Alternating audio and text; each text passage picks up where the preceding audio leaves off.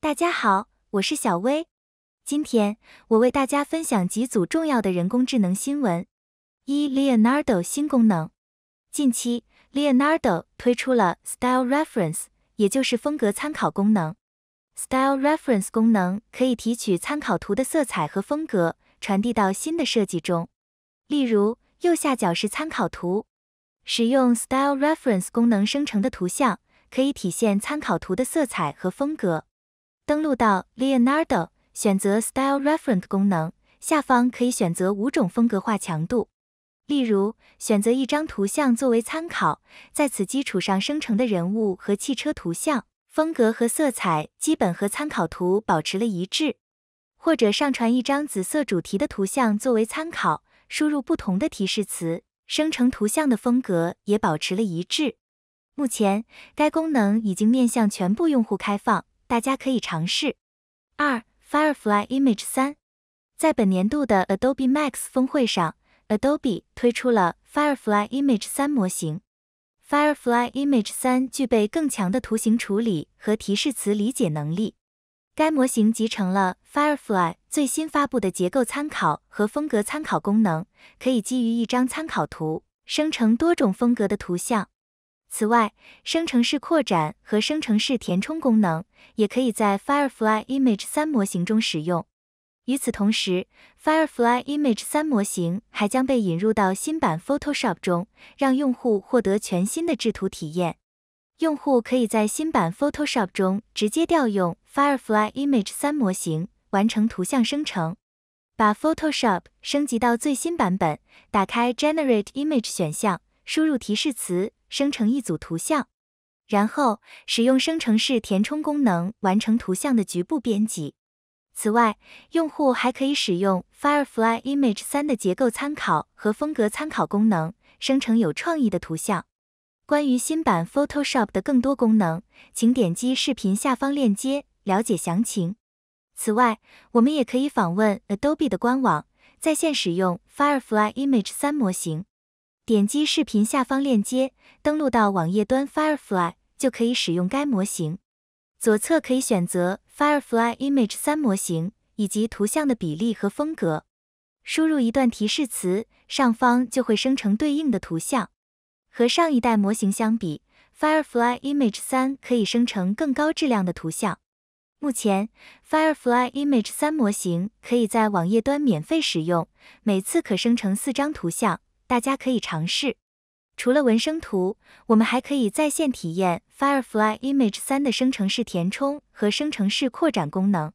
选择 Generative Fill，上传一张图像，设置好扩展区域，即可完成智能延伸。此外，视频和音频生成功能也会在近期加入 Firefly，大家可以关注。三 Video GigaGAN。该项目来自 Adobe，支持八倍视频分辨率增强，可以将低分辨率的视频转换为高清画质。该模型能够生成具备时间连贯性以及有高频细节的视频。GigaGAN 可以解决视频中的闪烁问题，显著提升视频的时间稳定性。GigaGAN 还会在后期加入特征传播和抗锯齿功能，让视频看起来更加清晰。Jigagan 擅长处理各种类型的视频，以下几段短视频由128分辨率提升到了512分辨率，画质增强效果非常显著。我把地址放在视频下方，大家可以了解详情。四 Synthesia Express One，近期数字人平台 Synthesia 推出了可以预测表情的数字人模型 Expressive One，能够根据文本做出皱眉、微笑、难过等表情。I am very happy. I am so upset. I am frustrated. 该功能的发布意味着数字人主播将会更接近真人。Expressive One 模型可以理解提示词的语境，输出带有丰富表情的语音。Expressive One 将在近期发布，除了可以模拟面部细微的表情变化，还能模仿人体的肢体变化。以及完美的口型匹配。访问 Synthesia 的官网就可以体验该工具。I definitely need more details. I need proof of concept. Thank you. Thank you so much for hanging in there with us. We really appreciate it. 五 Pixars 新功能，近期 Pixars 推出了 Camera Motion 功能，用户可以控制镜头的移动方式，其中包括水平、垂直、滚动和缩放四个选项。访问 Pixars 的官网就可以使用该功能。目前，该功能仅能在 Image to Video 模式中使用。用户可以调整镜头的移动方向和移动幅度，设置完成后点击 Generate 按钮即可。大家可以预览一下生成视频的效果。六 Play 点 AI，这是一个基于大型对话模型的 AI 对话平台，可以实现超真实的实时人机对话。连接上自己的麦克风，就可以和 AI 机器人实时对话。 How about Paris? Great idea. Love that city. Let's make it unforgettable then. I'll connect you with Gustav from the Grand Hotel Play. He's the best for creating bespoke travel experiences. Ah, that's perfect. Thanks. Yo, Gustav. Stu, Kelly tells me you're planning a trip to Paris. Would you like me to book your usual suite? Yeah, that'd be great. I'll use your card details and email on file for confirmation. Does that sound good? Perfect. I know you mentioned a desire for something unique this time around. For expert local insights, I recommend speaking with Anthony. 登录到后台，新用户可以获得三十分钟的额度，用于创建个性化的 AI 客服。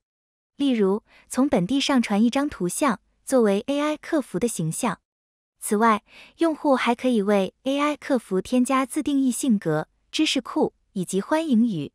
点击 Create 按钮即可创建一个自定义 AI 客服。该工具可应用于医疗、餐饮、酒店。电商平台代替传统的人工客服。七 Magic Clothing，这是一个强大的 AI 换装项目，还可以和 ControlNet IP Adapter 结合使用。Magic Clothing 提供了一种服装特征提取器，用于详细捕捉服装的特征，并有效地整合到预训练好的 LDM 中，确保目标角色的服装细节不发生改变。用户只需提供服装样本图像。输入提示词即可生成不同性别、不同肤色的试穿模特。在和同级别工具的对比中，Magic Clothing 能够合成更为真实的试穿效果。目前，该项目的源代码已经开放，感兴趣的同学可以了解详情。八 IDM VT1，这也是一个虚拟试穿项目，可以一键完成虚拟试穿，效果堪比真人模特。和 Magic Clothing 项目不同的是。，IDM VTON 会根据用户提供的服装和模特智能遮罩人物的特定身体区域完成服装更换。点击视频下方链接，就可以在 Hugging Face 体验该工具。